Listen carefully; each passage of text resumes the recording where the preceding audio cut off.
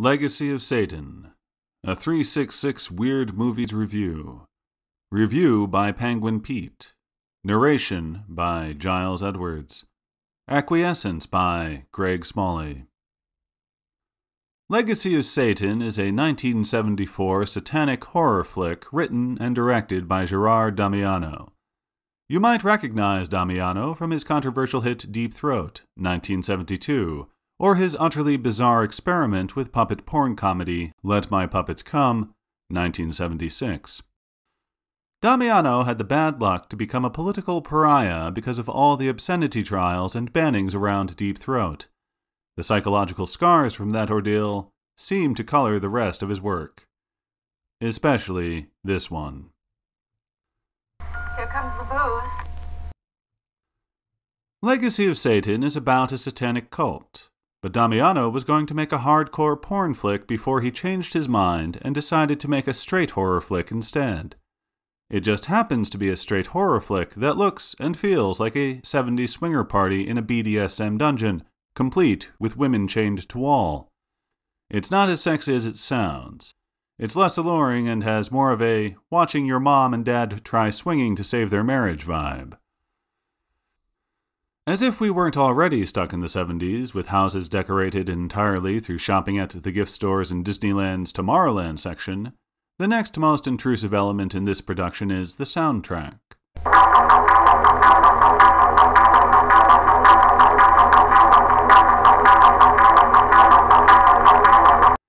This movie came along right at peak synthesizer infatuation, when everything sounded like a 20 minute Pink Floyd keyboard solo. You'll boogie to the soundtrack as it plays greatest hits like Flying Saucer DUI, Auto Tuned Catfight, Seasick R2D2, and A Swarm of Bees Farting in Unison.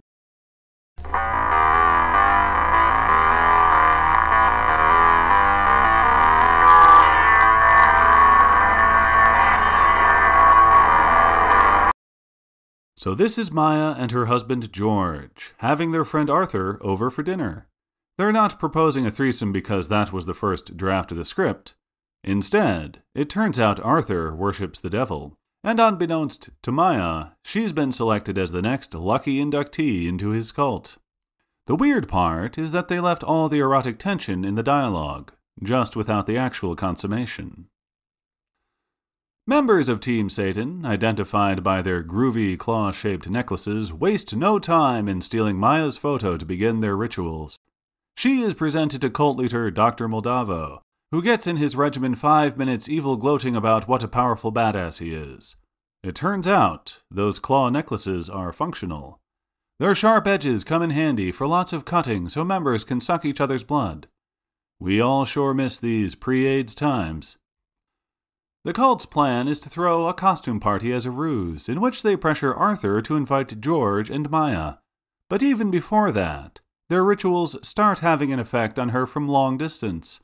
Now, make no mistake, this movie is low budget, terribly acted, and as corny as an Iowa State Fair, and Pete would know. But it is a camp masterpiece. This is most evident when Maya's strange behavior comes out in the kitchen. Ladies and gentlemen, presenting the scene which is a balance of terrible and sublime hitherto unknown to internet film fans, but destined to take place alongside The Room and Troll 2 in your mythology. You love it. You can't live without it. The cherry pie scene. It's insane. What's insane? What I'm thinking. Well, what are you thinking about? Cherry pie. All right.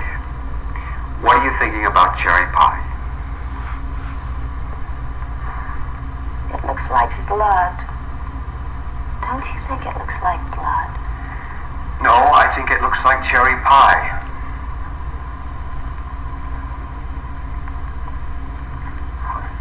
Now. Now doesn't it look like blood? No, it looks like mashed up cherry pie.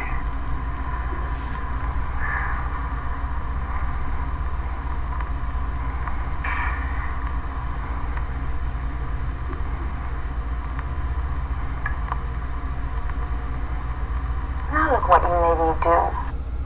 And it ends with Maya topping George, forcing him to drink her blood. So he's her bitch all of a sudden. Oh, did somebody say topping? Dr. Moldavo, cult leader, gets in some pretty dominant scenes over his minions, such as when he scolds the cowering Arthur as, You pitiful worm under my feet. She's not one of us. You pitiful worm under my feet. For not obeying orders. Since this was originally supposed to be a porn, you can guess that this scene originally ended with Arthur getting paddled until his bottom was a cocktail cherry. Arthur even calls him Master. But anyway, on with the costume party. Prior to the festivities, Dr. Moldavo's flunky slips George and Maya a wine spiked with a roofie or something. This starts an unbearable scene with Maya dancing around Goofy while the soundtrack plays, oh, I don't know, let's call this one Space Invaders Arcade Machine on Quaaludes.